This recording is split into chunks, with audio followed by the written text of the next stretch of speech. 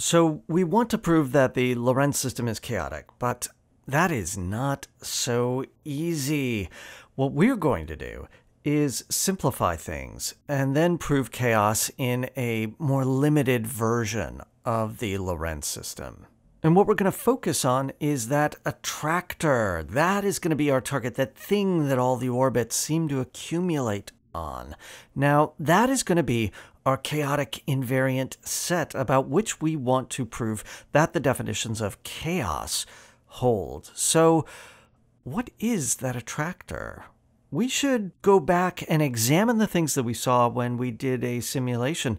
Lorenz originally noticed, everyone notices that it seems as though everything is accumulating onto a two dimensional surface, but it's not quite a normal surface. It's kind of unusual. It's kind of weird. How do we make sense of that? How do we turn that into something that we can prove theorems about?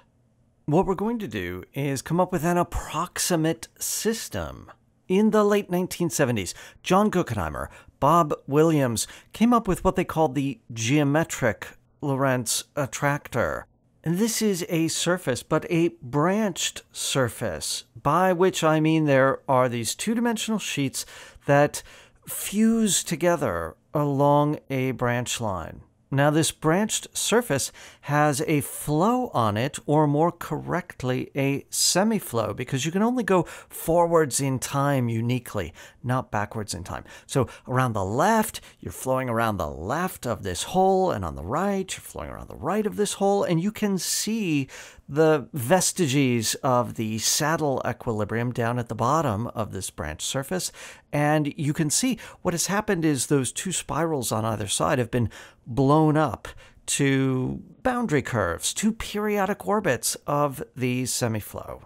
This is admittedly a little bit difficult to see unless you actually get out some paper and, and sort of cut pieces and uh, pull it around and glue it together along that branch line. But with a little bit of visualization, you can see what is going on in this almost cartoonish model for what this geometric Lorenz attractor is doing. Now, you've got to imagine the flow lines on this going around to the left, going around to the right, and then they fuse together, and then they go back down. That saddle point separates them out, and they just churn over and over and over.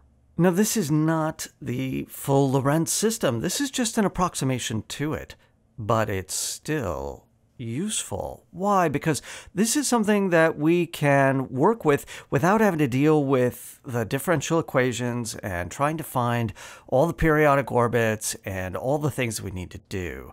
Now, we notice a couple of things immediately. First of all, this system does have two periodic orbits. One that uh, goes around the left on the inside, the other that goes around the right on the inside. Now, I wonder what else lives on that surface. It's going to depend on what exactly is happening with this flow. That is going to be the thing that we investigate next.